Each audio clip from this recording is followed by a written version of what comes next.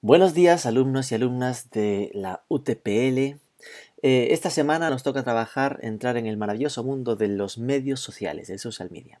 Vamos a centrarnos en, en, esta, en estos días en el contexto estratégico, más en la parte teórica. Eh, vamos a dar por hecho de que a priori todos sabemos, todos sabéis eh, que existe Facebook, que existe Twitter, Instagram, que es un blog, aunque después la semana que viene, tras dar esta estructura un poco más eh, estratégica, sí que entraremos un poco más en detalle en cada uno de los canales, ¿vale?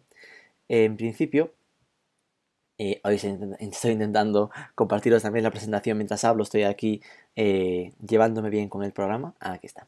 Vale, por dar un repaso muy superficial de lo que veremos, ¿vale? Como siempre tenéis la presentación bastante amplia y un, una ampliación de datos en las que cosas que puedan quedar para profundizar os pasaré enlaces para mayor información, ¿vale? Entonces, cositas. Primero, hay una gran confusión siempre entre hablar de social media y hablar de redes sociales. Entonces, la primera en la frente. No es lo mismo, ¿vale? Los medios sociales es un concepto más amplio. Dentro de medios sociales entra un blog, por eso lo hemos mencionado, entra eh, la Wikipedia, entra un periódico si tiene un apartado en el que se pueda dejar comentarios. Medios sociales son simplemente medios en los que se pueda interactuar con el autor de la información, que a día de hoy casi son la excepción los que no te dejan. Redes sociales bueno, aquí está un poco la explicación.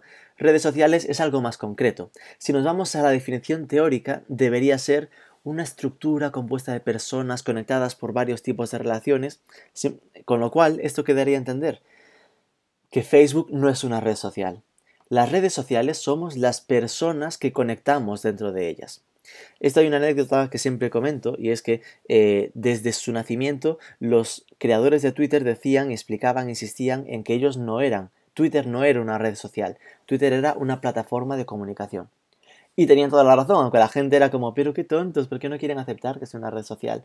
Eh, básicamente, somos las personas las que nos convertimos, las que creamos redes sociales entre nosotros. Si vosotros os creáis un grupo en LinkedIn eh, de alumnos del, máster de, de, comunicación de, de la UTPL, el grupo, la red social sois vosotros, no es LinkedIn. En LinkedIn se crean redes sociales. Esto sería la teoría. Es cierto que ya está muy asumido que, que la gente no usa la palabra así. Entonces, al final, a las redes sociales en Internet se le suele llamar a esas plataformas en las que se crean las redes sociales. Ok, tú no... Difícilmente por dejar un comentario en un periódico estás creando una red social con alguien. En cambio, pues sí que puedes en Facebook crear una red social con tu grupo de amigos o con un grupo o con una página. Entonces, eh, el mínimo para definir una plataforma como una red social suele ser que puedas interactuar con otros y que tengas tu propio perfil personalizado. Que ya veis, esto como mínimo es muy, muy, muy básico. Si, fuésemos a esta definición, casi si vamos a forzarlo, un, eh, un foro también podría ser una red social, ¿no? Pero bueno, ya todos más o menos queremos entender cómo se usa de forma genérica la palabra red social. Hay un par de Mm, definiciones más que nos gustaría daros y es que en general la profesión más repetida en redes sociales es la de community manager. Un community manager entonces sería un gestor de comunidades, por lo tanto sería bueno saber qué es esto de una comunidad. La comunidad es un conjunto de individuos que comparte elementos en común. Entonces siempre se ha usado como, ok, los fans de Coca-Cola comparten un elemento en común entre ellos que es su amor, lo que le encanta a la Coca-Cola, ¿no? En este caso un idioma, ¿verdad? O sería pues un producto que les gusta, un gusto. Tienen una identidad común y es consciente y voluntaria. Vale, hasta aquí encajaría. ¿Por qué metemos lo de tribus por aquí? Seth Golding, que es uno de estos gurús eh, del marketing, eh, recogió la definición de tribu, la recogió la, la, de la Wikipedia, que es también la que ponemos aquí, y se define tribu como un grupo de personas que comparten tres puntos en común. Una unión personal entre ellas, y sigamos el ejemplo, que sería el de me gusta la Coca-Cola. Un conjunto de ideas comunes, ¿ok? Que le gusta como Coca-Cola idea de marca. Y un líder. ¿Por qué metemos destacado lo del líder? Porque normalmente eh, queremos tener comunidades, pero lo más habitual es que las marcas lo que tengan en Internet, en las redes sociales de Internet, sean tribus porque es necesario que exista ese líder, ese community manager, empujando la conversación. ¿Por qué traemos esta colación? Porque al final eh, debemos entender que cuando empezamos en redes sociales las marcas están realmente creando tribus, están creando una comunidad en la que la gente le gusta mi producto, tienen esa visión de marca en común, pero si no estoy yo ahí, esto no funciona. Entonces, el objetivo a medio o largo plazo de toda marca en Internet sí que realmente debería ser una comunidad. ¿Por qué? Porque la comunidad mete un factor de engagement mucho más alto y es que no me necesitan a mí como community manager. ¿Y qué significa que no me necesiten? Significa que a lo mejor todos, si alguna vez habéis llevado redes sociales, eh, seréis conscientes de que a veces hay preguntas muy obvias. Cuatro personas que te preguntan a qué hora abre el centro comercial, imagínate, o la tienda. Preguntas que cualquiera podría encontrarse en la página web o que cualquiera, cualquier otro usuario podría saber. Cuando tienes una comunidad, ya deja de ser totalmente necesario que tú estés como un papi, oye mira que a las 9, oye mira que a las 9, vendrá otro que se lo responderá. O esto de la comunidad es que venga uno diciendo, pues a mí no me gusta no sé qué de esta marca, y vengan otros tres diciendo, pues es por esto, a mí me encanta, no sé por qué lo dices. Es decir, que se genera un grupo de usuarios que están defendiéndote, por ejemplo. Eso es llegar al nivel de comunidad cambios en los paradigmas, bueno, al final es ¿por qué aparecieron ahora las redes sociales y no antes? Pues porque antes ha, sido necesaria la conectividad, en mantener internet, obviamente, y a medida que ha ido mejorando la conectividad, ha ido mejorando y cambiando el tipo de redes sociales. Para entendernos, no era posible un YouTube como no lo vemos hace 15 eh, años, por eso se empezó con temas más de texto, eh, o los dispositivos, en plan, eh, recuerdo siempre como ejemplo Second Life, pues que era un tema de segunda vida, una realidad virtual. Eso cuando nació Second Life e, era demasiado potente para los dispositivos que teníamos. Había muchos usuarios que yo entre ellos, yo no podía usar Second Life en mi ordenador del trabajo, tenía que usar el de mi jefe porque te pedía unas prestaciones de, de, equipo muy altas. ¿no? Y después los contenidos, ¿no? que obviamente es lo más necesario. Fundamentos de las redes sociales. Aquí me pararé más, después iré más, más ligero. Porque estos son de los más eh, que definen a todas las redes sociales. La colaboración, el hecho de que todos estamos dispuestos a, generar contenidos en las redes sociales. Recordad el, el, cambio de paradigma tan heavy que significa que Facebook no es nada si no estamos nosotros trabajando gratuitamente para Facebook. Facebook no aporta contenido. Somos los usuarios los que lo llenamos de contenido. Facebook y YouTube lo mismo. Esto es una característica eh, creativa, bueno, básica, como la Wikipedia, por ejemplo el hecho de la democratización. Lo que han conseguido es eh, facilitar que cualquiera pueda generar contenidos. Algo que eh, antes uno estudiaba periodismo y sabía que para trabajar en televisión o en radio necesitaba ser contratado por una televisión o una productora. Porque le era muy caro comprarse una cámara profesional, emitir, broadcastear eh, para, para, para tener un canal propio. Esto ahora no es así. Esto ahora cualquiera puede con su móvil con unos cascos como estos, estar creando productos de una calidad profesional. Profesional, ¿vale? Obviamente siempre hay diferencias, pero eh, asumible.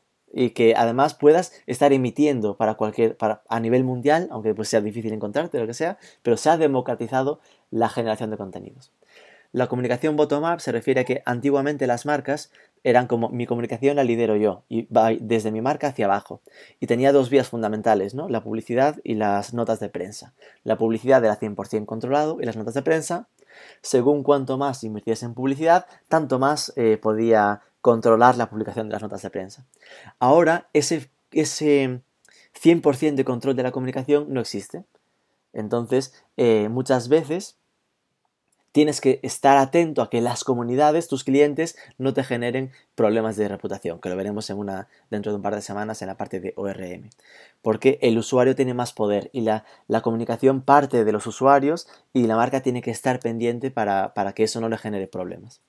Meritocracia es que aunque eh, no todos valemos lo mismo, ok, no significa esto que sea una merienda de negros y que todo al final, cualquier publicación en Twitter me vaya a hacer mucho daño. No te hace el mismo daño una publicación de un usuario con un millón de seguidores que una de un usuario que no tiene ni foto en el perfil y tiene 10 seguidores. Todos lo entendemos esto. Pues cada canal tiene sus criterios de meritocracia. Y el beta perpetuo es que estamos acostumbrados, hemos asumido como normal que las redes sociales, las plataformas están en constante evolución.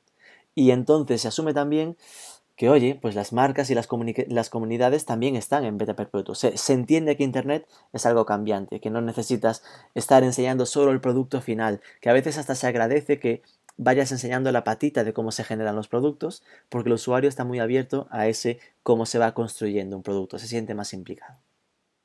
Otro concepto, que es un poco más eh, moderno, un poco más, eh, posterior a este, es el de Groundswell, que también lo definió la gente de Forrester, y es el del clamor popular. Mm, el concepto es raro, no os vais a quedar con la palabra, pero lo que intento que os quede en la cabeza es que eh, a la gente le gusta la gente.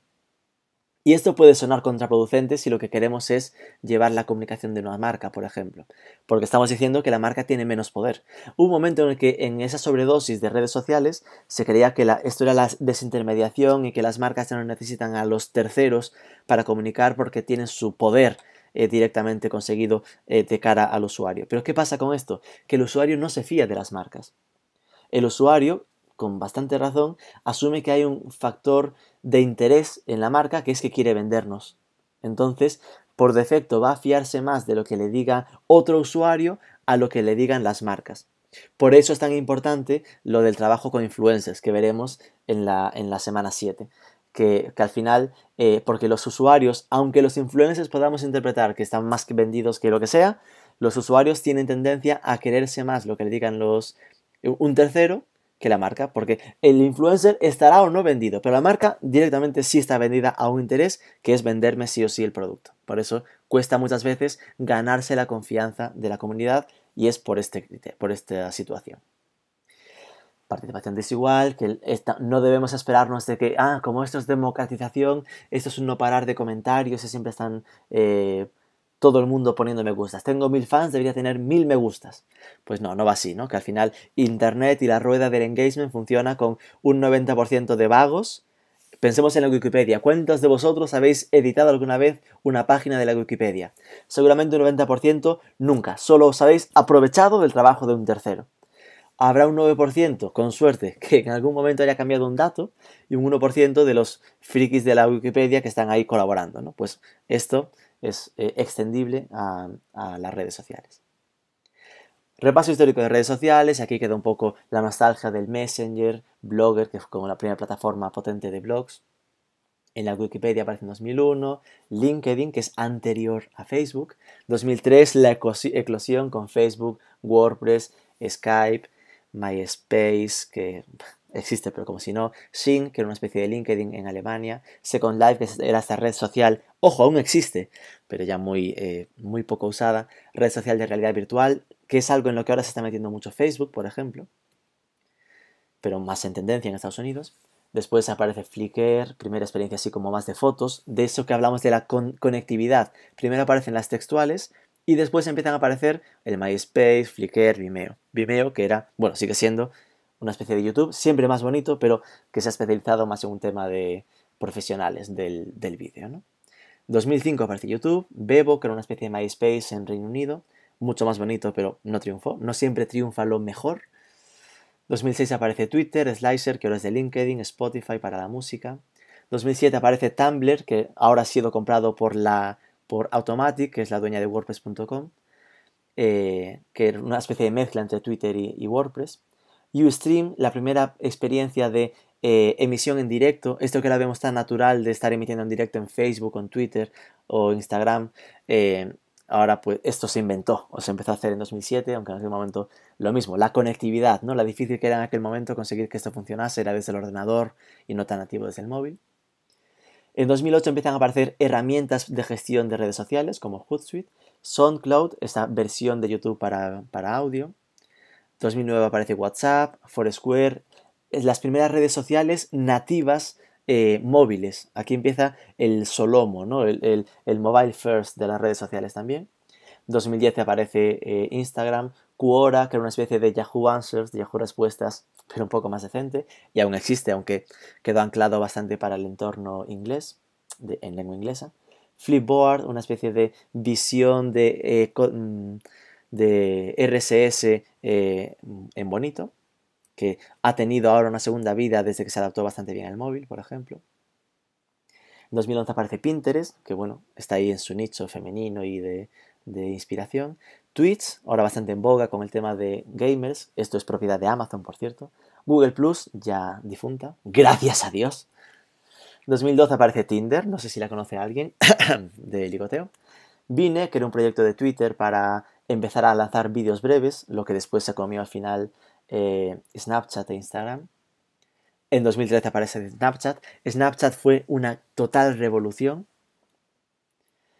eh, porque al final inventó muchos conceptos, entre ellos el del contenido efímero, que después le ha fagocitado Instagram. Después aparece Swarm, que era una decisión de Foursquare que lo partió en dos, fue un gran error y ahora ninguna de las dos sirve para nada. Musicali, que ahora está comprado e integrado en TikTok, que fue esa primera experiencia de, eh, pues esto de contenido eh, diferente a Instagram. Aquí aporta lo de grabarse bailoteos eh, para como videoclips pequeños de 15 segundos. Parece una tontería cuando te lo explican, pero está consiguiendo un nicho muy potente en gente joven menor de 20. Periscope, que fue esta primera Ustream, el rollo de facilitar a nivel móvil lo de la emisión en directo, era de Twitter, después lo integró en Twitter, pero llegó Facebook y se comió este proyecto mayormente, aunque sigue existiendo. En 2016 aparecen ya herramientas un poco menos conocidas como 21 Buttons, de social selling específico en, moda, TikTok, que es esta que se comió a, a Musicali, y ya estas son las más relevantes. Por ahora algunas hay nuevas, pero ya no tan importantes. No, no quiero mm, contaros toda la presentación, pero al final de tenerla así y estar en vivo me, pierdo. Eh, para la planificación de campañas, la, la, planificación que os recomendamos trabajar es la Post, también de Forrester, parece que somos fans, pero son las que se han estandarizado. Post de, primero piensa en people, en el público, los objetivos, la estrategia y la tecnología. Que parece muy obvio, pero es que lo era muy habitual al principio que la gente primero pensase en la tecnología, que son las herramientas, que es el me voy a abrir un Facebook, Después, ya que tenía el Facebook abierto, pensaba en qué hago en Facebook, voy a montar una aplicación con un concurso. Después pensaba en objetivos de ¿y qué quiero conseguir con esta aplicación? ¿Cuántos fans? ¿Cuántos no sé qué? Y después pensaba ¿y qué he conseguido? Y preguntaba cuál era el público que habíamos conseguido, qué, gente había ahí dentro. Cuando el camino debe ser a la inversa, pensar a quién quiero impactar, qué quiero conseguir con ellos, cómo lo voy a conseguir y entonces cuáles son las plataformas o las herramientas para conseguirlo. Aquí os hablaremos de pues, cómo conseguir datos, es decir, cómo pensar en, tu público si es que tenemos un cliente activo. Obviamente esto nos sirve si es mi marca. Si, está trabajando con una marca que no es vuestra, os va a ser muy complicado que os pase toda esta información, obviamente, ¿no? Pero que sepáis que cuando trabajáis con vuestra marca, aquí estaría información muy valiosa para entender a vuestro público real. Aquí intentamos caminar hacia abandonar un poco el target y caminar, trabajar con el concepto de buyer persona. Ojo, Buyer persona no es un concepto nuevo, ni siquiera digital, ya existía en los años 70 en Estados Unidos, pero se ha entendido su necesidad cada vez más en, Internet porque es cada vez más eh, comprensible lo importante que es segmentar, simplemente.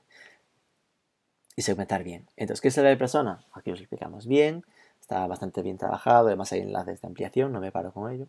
Una herramienta para eh, que podáis trabajar vuestro buyer persona Normalmente hay más de uno en cada marca. No os obsesionéis con que, ay, es que a mí me salen dos.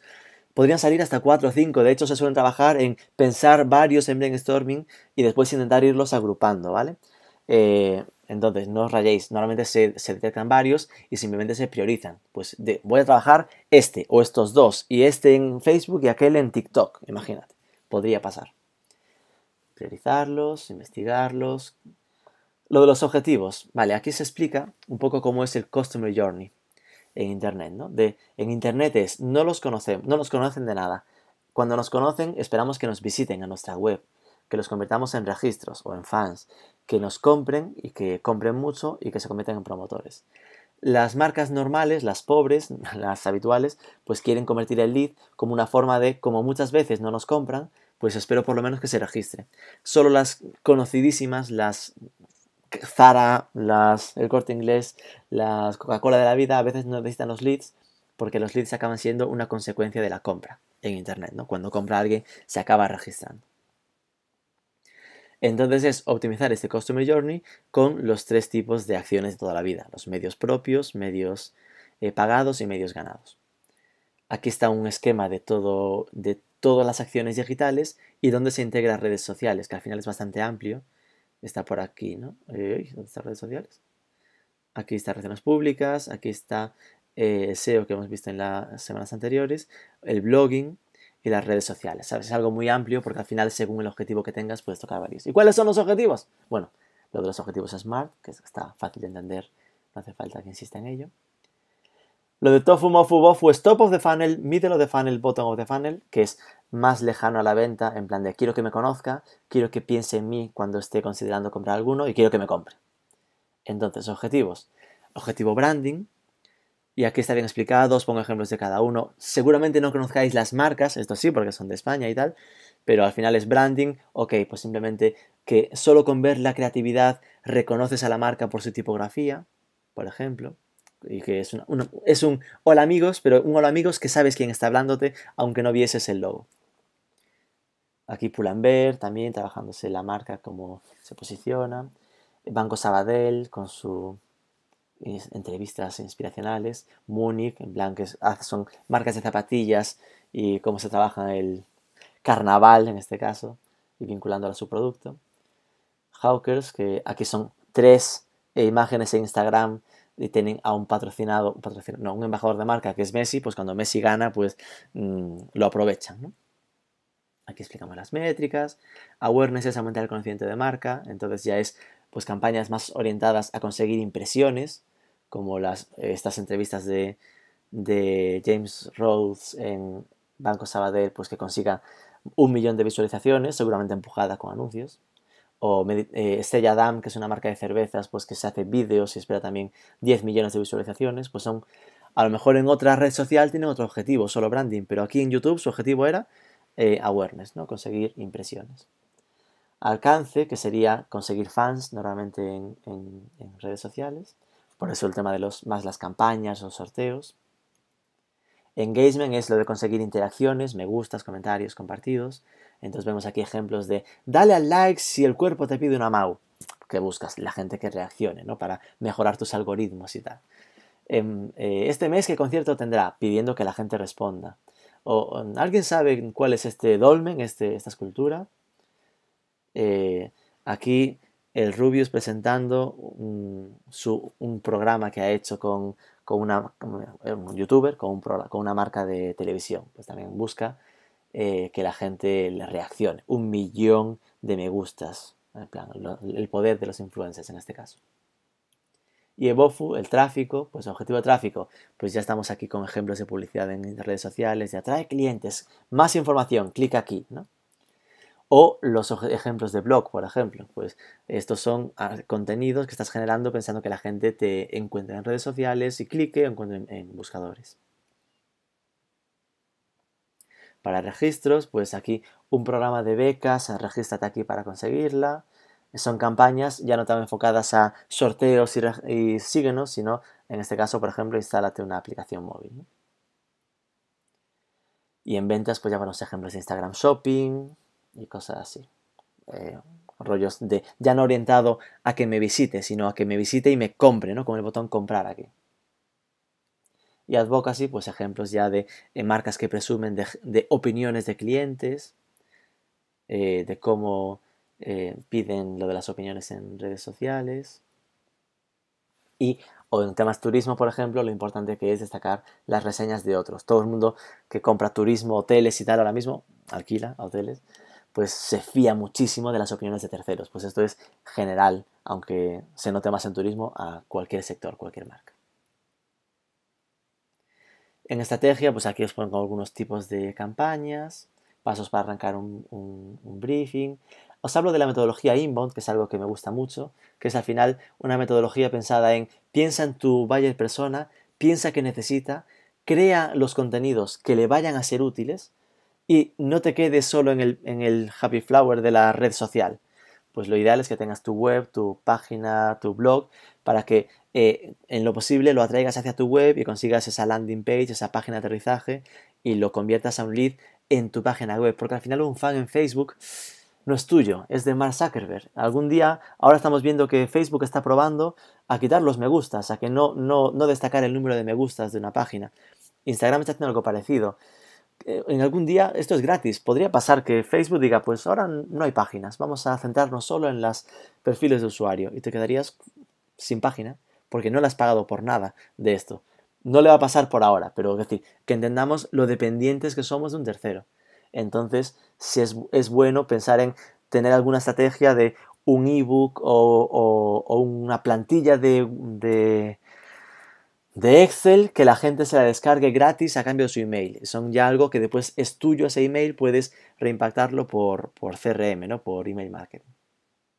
Entonces aquí es, ¿cómo los atraigo? Pues a través del blog o del SEO de las redes sociales, que me visiten, le enseño la patita, un CTA para que, y un formulario para que conseguir el lead a cambio de un, documento, un producto de valor, y a partir de ahí ya tengo el dato en el CRM para enviarle un email o incluso automatizado para convertirlo a cliente, ¿no? En ideal. Ejemplos, ¿no? Pues más ese tema de pensar, salirnos un poco del ABC, del tengo Facebook y Twitter, Facebook, Instagram, y pensar en qué más puedo hacer para no quedarme con, contenidos para captar al usuario a, que, a que al final se convierta en, parte, de mi, parte de mi base de datos. Aquí está el ejemplo explicado. Y en tecnología, después es simplemente el enseñar la patita sobre la siguiente semana, ¿no? Pues el poder de las redes sociales. En España, como ejemplo, de los habitantes, cuando son internautas, de 22 millones de internautas, 17 millones eh, son usuarios en Facebook. 9 millones en Twitter, 8 en Instagram, y esto ya está superado prácticamente. ¿no? Seguramente Instagram le ha dado el sorpaso a Twitter. Algún ejemplo de redes sociales, otras así menos conocidas, y una estadística para ver un poco que no será exactamente equivalente, pero seguramente no se diferencia demasiado de lo que pasa en Ecuador, ¿vale? Por eso os lo dejé. Aquí más datos estadísticos. Y con esto es todo. Eh, como siempre, tenéis además enlaces de ampliación de información. Por si no os fiáis de los datos de España, hay un enlace que recuerdo muy claramente de eh, usuarios de redes sociales a nivel mundial para ver eh, la foto más global. Y, y nada, cualquier duda quedamos en contacto por la plataforma web y nos vemos la semana que viene.